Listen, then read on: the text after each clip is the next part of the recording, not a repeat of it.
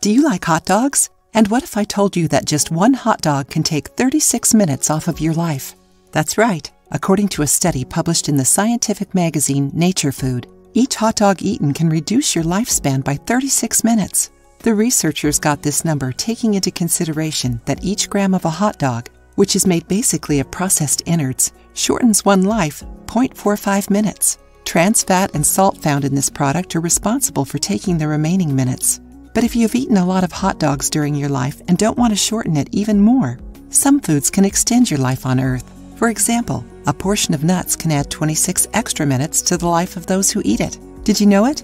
Enjoying the video? Then give it a like and share it with your friends. You can also contribute to the channel through the thanks button. Don't forget to subscribe to be notified of any new videos. Researchers from the University of Michigan tested the nutritional impact of almost 6,000 foods to create the Nutritional Health Index. They calculated the impact on the health of one gram of each food, then created an average to find out how a complete meal would affect life expectancy. For those who want to live longer, scientists suggest replacing 10% of the daily ingestion of meat or processed foods with vegetables, fruits, and nuts. According to them, this can add 48 minutes to your life every time you do it. Isn't it amazing?